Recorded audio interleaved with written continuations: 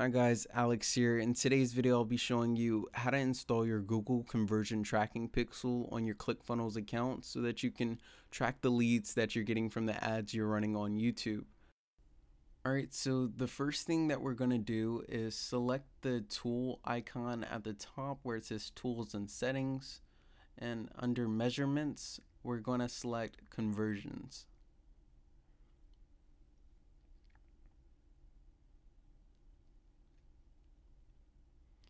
Alright, as you can see, I've previously already built out a conversion. Uh, what you want to do is just click this plus icon to create a new conversion, and we're going to use this for our website. And the first thing we need to do is select the category, and I've done this in the past, so go ahead and select submit lead form for tracking leads. Uh, conversion name, I'll name this after the previous one. We're not going to give this a value since we're tracking leads and not purchases. All right, our count is going to be set to one because we don't want to track like multiple leads for a single person. And the conversion settings at the bottom, we can leave those exactly as they are. Go ahead and select create and continue.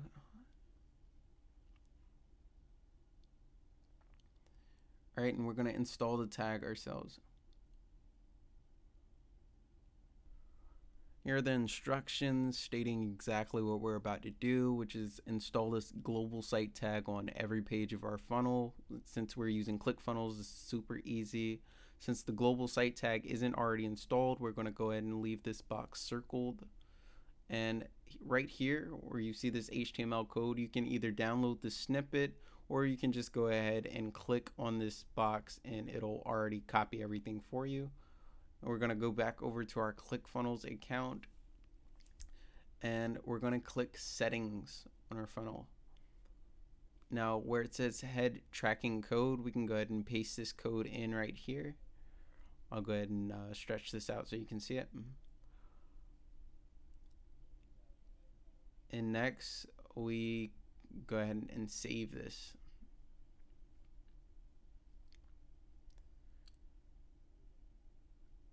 All right, now that we've done that, we can go back over to our Google Ads account and we can copy this event snippet uh, the exact same way that we did before, or you can download it your choice.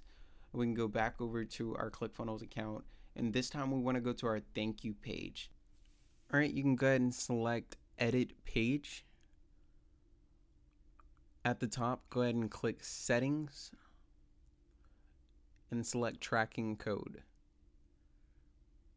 All right, now we can go ahead and paste that code in there, save, and we are done. We can now go back to our Google Ads account and select next and done. Now that we've created our lead conversion pixel, real quickly, I'll show you how to add it to an existing ad campaign. All right, so what you're going to want to do is go to the overview of your Google Ads account and on the left, select settings. Now you're going to choose which ad campaign you, you want to go into the settings of. For me, I'll just choose this one. All right, next you want to scroll down to where it says additional settings.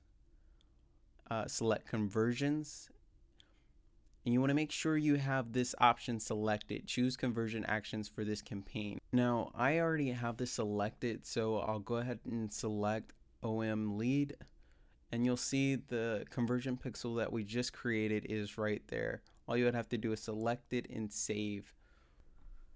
Alright guys, if there was any confusion as to why we place our conversion pixel on the thank you page, I've created a detailed video explaining exactly how a sales funnel works and why we place these conversion pixels in these specific areas. Like always, if you enjoyed the video, smash that like button, comment down below, subscribe to the channel for future videos, and I will see you in the next video.